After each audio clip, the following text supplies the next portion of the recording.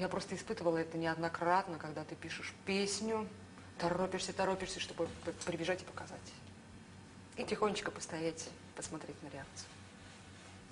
Но это может быть только... Это, это самое такое совершенное признание в любви, на мой взгляд.